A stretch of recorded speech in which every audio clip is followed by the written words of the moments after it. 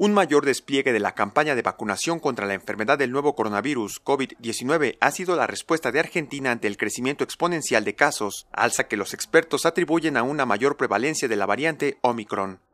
Las autoridades del país sudamericano han enfatizado la importancia de que los residentes inicien o completen sus esquemas de vacunación luego de jornadas consecutivas con registros récord en la cantidad de casos diarios reportados.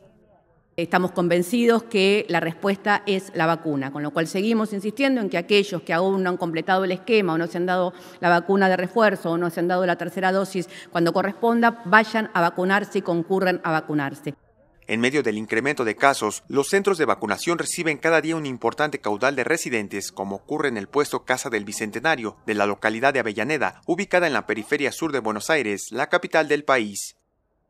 Creo que también nos hizo bastante bien en el sentido que ahora hay muchísimos contagios, pero creo que estamos bastante resguardados gracias a la vacuna, porque no se vio tantos muertos como los años anteriores. Eh, pero nada, por suerte se, nos, se ocupan de nuestra salud también. Creo que eso es importantísimo. Argentina decidió el miércoles modificar su estrategia de vacunación contra la COVID-19 ante una alza exponencial e inusitada de casos, informó el Ministerio de Salud. Con información de la oficina en Buenos Aires, Argentina. Noticias Xinhua.